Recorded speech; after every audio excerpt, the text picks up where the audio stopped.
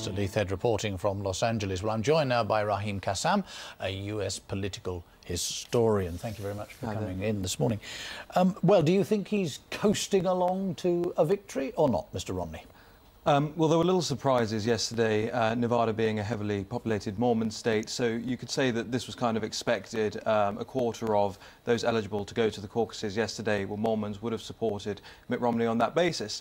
Um, if you look at the uh, entrance polling from last night, what we can also see is that people aren't necessarily looking, as they were in South Carolina, for this conservative ideologue in Newt Gingrich. Um, so factoring those things in, I don't think he's necessarily coasting here. I think there are certainly some losses that he's going to pick up uh, along the way between now and Tampa, the Republican uh, convention.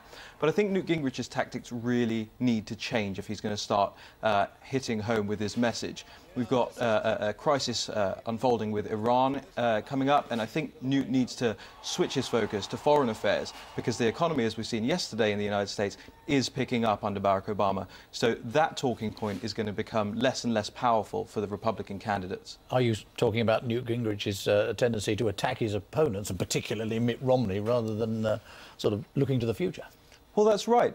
Or, in fact, looking to uh, attack Barack Obama's records. What happened last night, uh, we saw a very infuriated Newt Gingrich talking about uh, how he was still going to the convention, how he's still carrying on. But what we didn't hear from him at all uh, there were zero mentions of Barack Obama in his speech after the, after the results came out. That was the same for Ron Paul. It was the same for Rick Santorum.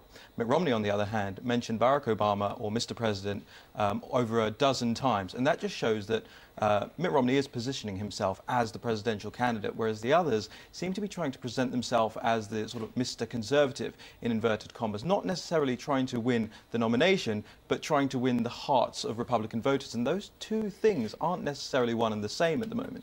Can you remind us where the opinion polls across the whole of the United States point yeah. uh, as we begin to think about the actual presidential election itself? Yeah, we're still looking at Mitt Romney uh, commanding a commanding a decent lead at the moment, but it's it's not it's not all that solid, and, and states are diverse, so you can't really say that national polling really reflects what's going to happen because as we go through each and every primary, that's going to shift, um, and that's that's what momentum does. Um, if after South Carolina we saw uh, Newt Gingrich pick up a lot more support.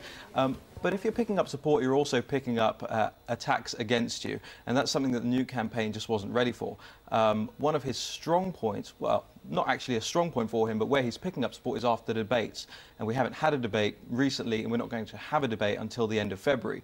So going into the caucuses over the next few weeks, Newt doesn't have this platform where he can attack the media, where he can attack uh, Barack Obama. And, and, briefly, opinion polls versus uh, Barack Obama himself?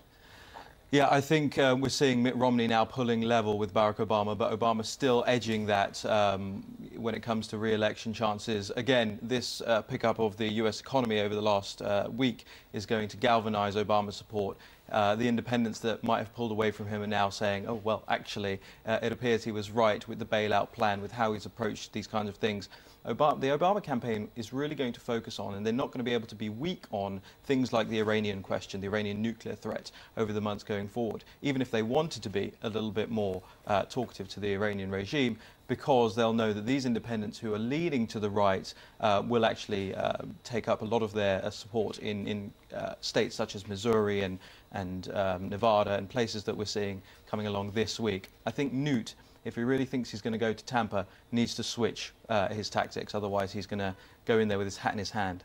Raheem Kassam, very grateful to you. Thank you very much.